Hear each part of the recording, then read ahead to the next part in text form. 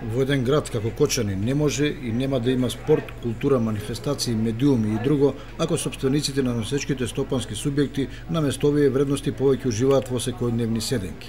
Затоа кој му е крив на Осогово што по втор пат заглавува помеѓу желбите и финансиските можности во градот кој сака да гледа второлигашки фудбал, ама не е подготвен да финансира во него ако општината дава колку толку. Прашањето е каде се навивачите да платат влезница, бидејќи во ова време ништо не е бесплатно. Понатаму, каде се водечките бизнисмени кои својот профит го старуваат од овдешните граѓани и ако не по друго, по основ на обштествено одговорни фирми, треба да го помогнат спортот. Да не зборуваме за компаниите како Евана, водостопарство Брегалница, банките, осигурителните компании, маркетите или оние фирми кои од тендери и проекти прераснаа во локални гиганти, а не ни знаат дека во Кочани има фудбал, борење, кошарка, култура и слично.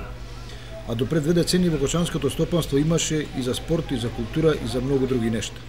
Според мудроста, тешко е да се стигне до врвот, но уште потешко да се остане таму.